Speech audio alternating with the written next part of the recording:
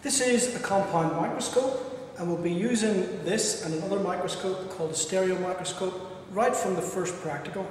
Now if you take your practical manual, open it up at practical 1 and follow what I'm going to say now. This will help you when you come to do this practical and indeed it will help you throughout uh, residential school and the practicals because we'll be using the microscope a lot. So I'm trying to demystify it for you here. So what we have here, as I said, compound microscope. It will take us from uh, times 40 magnification, so that's a 4 times objective there, and you've got a times 10 objective, uh, sorry, eyepiece here. Then right up, that's 10 times objective, which is 100 times then, 40 times objective, it's 400 times, and then the maximum, which we hardly ever use, use it more in microbiology, is 100 times objective, times 10 is 1,000 times. Now what you might have noticed there as I went up, is that the lenses get bigger, and also you will find that this distance here between what will be your specimen and the objective also gets less. Okay? Now, one thing that students have difficulty with, we'll be using slides throughout, uh, either prepared slides as in this case, or ones that we'll make ourselves. And the way to actually put them on is, this is a little caliper here. You put it on like that and just hold it with the caliper. Now, some students, the caliper might be a bit loose and they get that underneath, which isn't good. You want it just to hold the actual edge of the slides. And then you can then adjust it with this uh, thing at the side here, which will take us, these are called, what are these called? Uh, little squirty things, yep. And they will enable you to find the middle of your specimen. And what other things do we have? To say these are the uh, eyepieces. You can adjust it for your eye distance. This is interpupillary distance. And the other thing you can do, say, we'll start off with the times 4 magnification. I'm going to have a look down here now. And you focus here with, first of all, at this low coarse focus, focus up and down. What I'm actually looking at here is a piece of, section of a piece of wood. And you probably, this is the fine focus here, you don't need it at the low magnifications.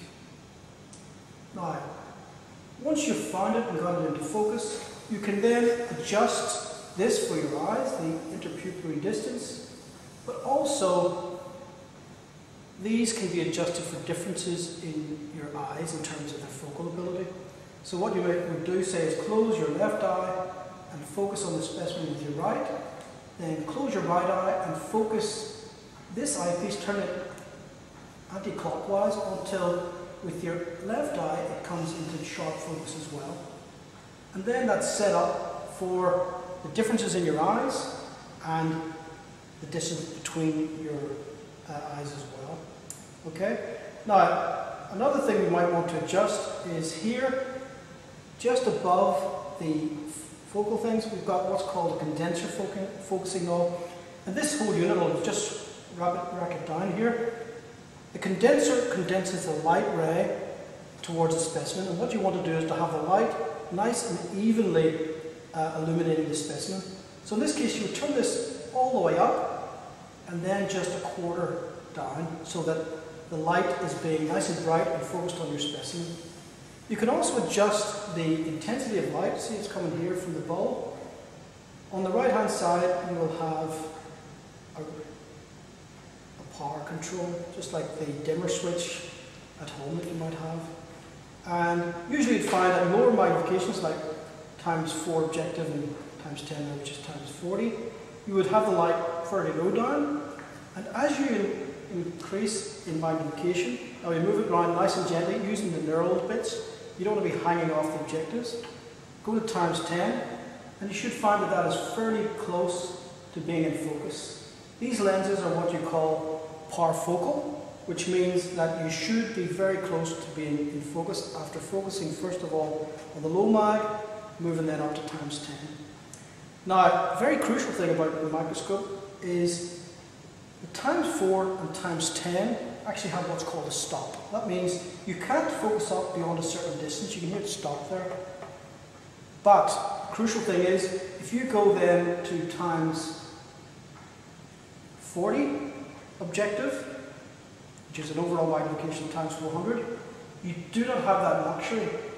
That means you should never focus up when you're looking down the microscope as such.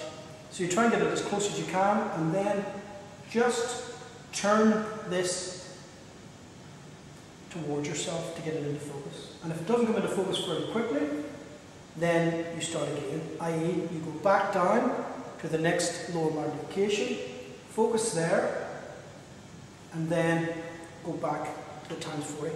If you can't get into focus with that times 40 very quickly, i.e. within a minute or two, don't persevere with it, go back down to the lower magnification. This is another error that students do, they panic and just try to keep finding things there when maybe they've gone well beyond what's called the focal distance. Remember, as you go up in magnification, it's really, really small.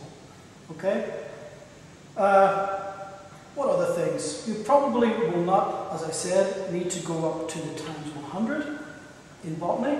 In fact, I, Jeff and I usually tell students not to because it gets a bit messy, shall we say. You need to use oil for the times 100 and usually you can see all you want to see in plant specimens with from times 4 up to times uh, 40. So we only worry about that say you get to microbiology in the next session.